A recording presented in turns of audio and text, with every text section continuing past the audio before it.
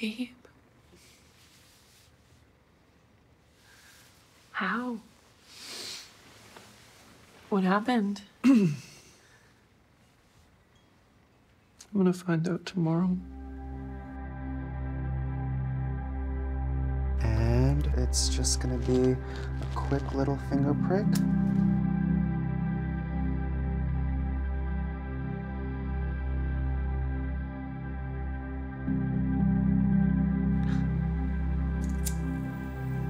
What is it that you think you're most afraid of?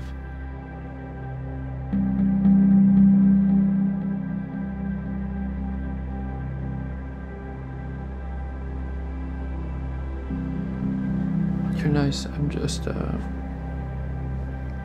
I'm scared.